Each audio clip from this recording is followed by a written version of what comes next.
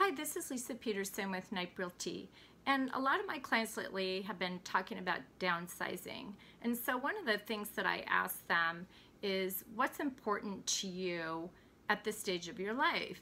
Um, is that big yard still something that you want to be tied to? Is um, that big kitchen or all those rooms something you want to clean still every day? So I guess one of the first things that I would ask yourselves is what size of a home matters to you?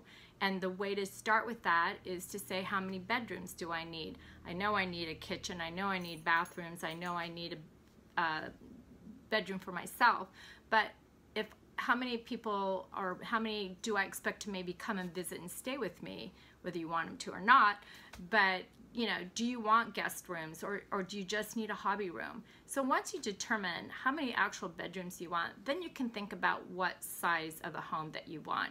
Are those stairs important to you um, to accommodate those bedrooms? That's a factor as well. But I will be going over a series of some of my tips, so stay tuned. But my first one that I just kind of explained a little bit is size does matter. So stay tuned.